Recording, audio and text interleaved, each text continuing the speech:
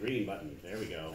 Um, so my name is Michael, and I've uh, had the privilege to work in recruiting people into studies for the past seven to ten years, and only Cure now since we've had that mostly through ACTG trials. Um, this is a look back, and this is sort of my own idiosyncratic way of putting all of this history together.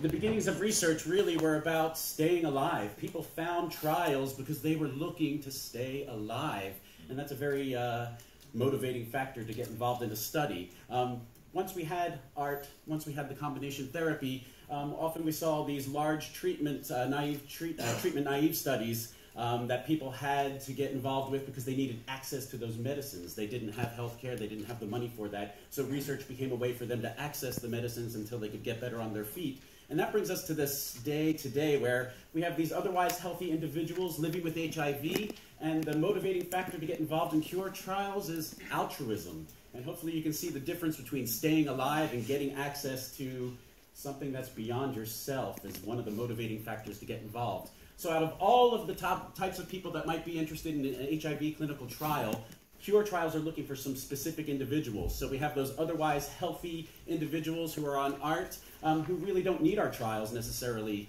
and uh, we also have then people who have stopped ART, who have stopped it maybe for toxicities or because of treatment fatigue.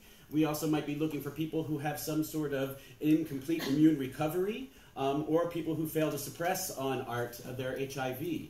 We also specifically might be looking for people who have HIV and cancer, and they might already have been treated and in remission, or we might be needing people who are needing cancer treatment as well as their HIV.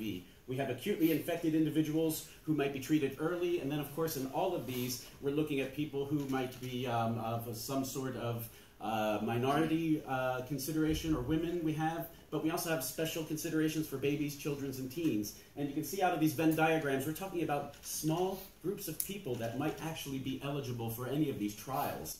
Um, and then if you add on to that, just trying to find these people, you might think we're looking for some mythological creatures like unicorns.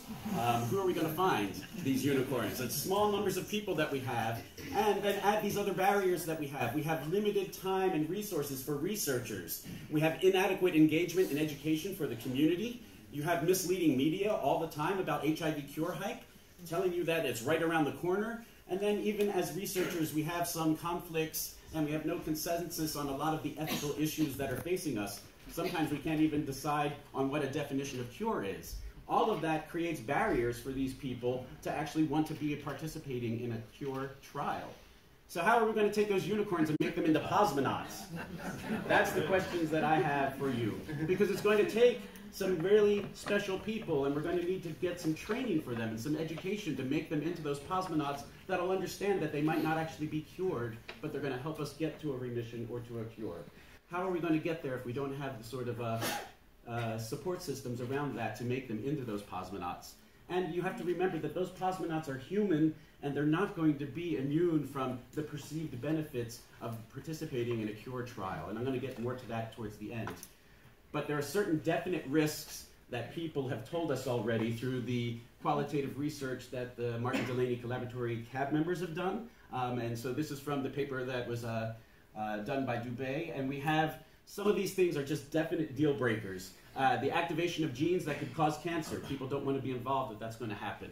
They don't want any sort of drug resistance to be developed and any sort of toxicities or side effects. They told us that that's not in the uh, realm of possibility for them procedures. People do not like spinal taps, and definitely they've heard stories about bone marrow transplants, the biopsies that go on there, and how painful they are. They don't want anything that has to deal with that.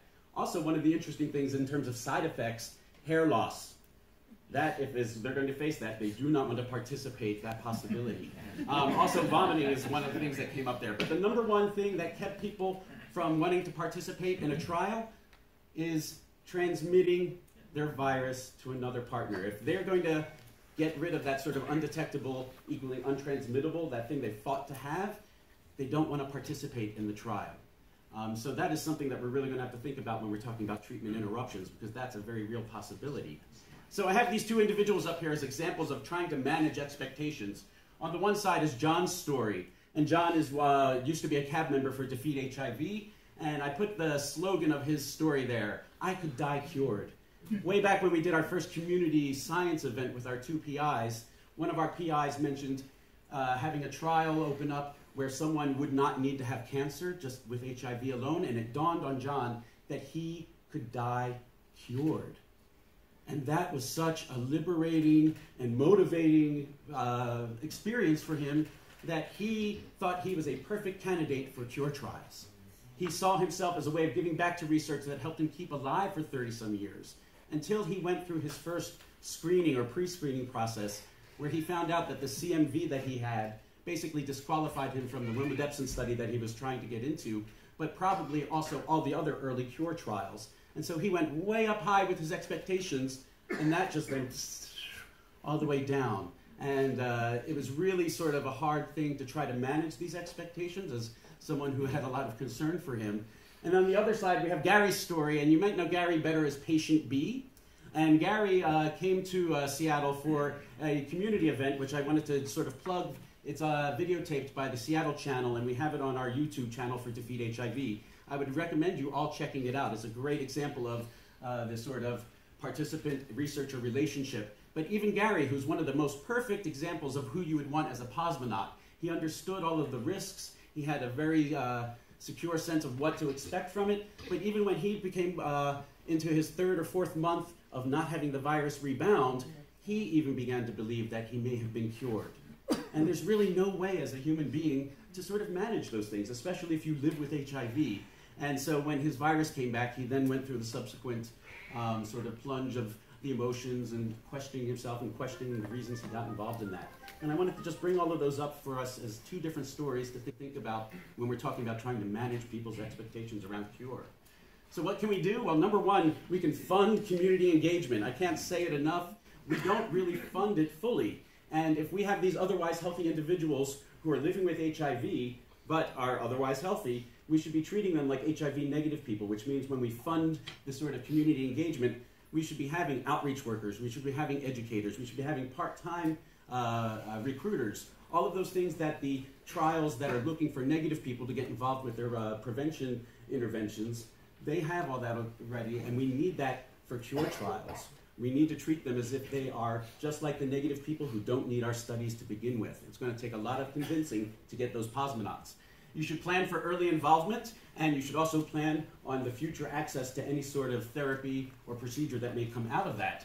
If you have something that works in terms of outreach, you should document it and bring it to things like this to teach other people and how you did it.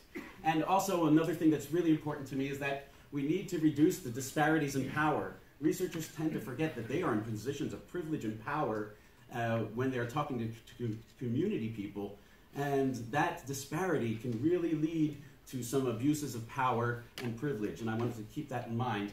But the last point is to really support effective community responses to HIV.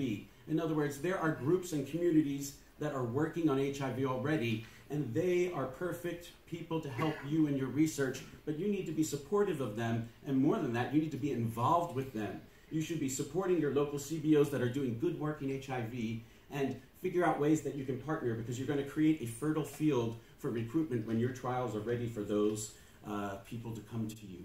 Um, and that's all I have to you, so thank you very much.